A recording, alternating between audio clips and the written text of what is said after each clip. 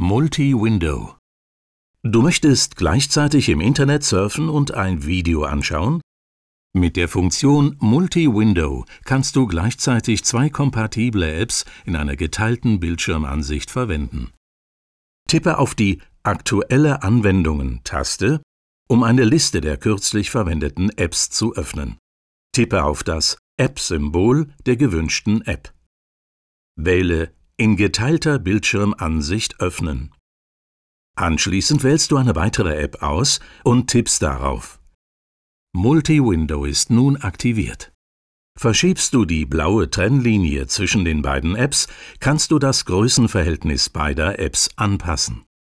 Um Multi-Window wieder zu beenden, tippe zunächst auf die Aktuelle Anwendungen-Taste und anschließend auf das X.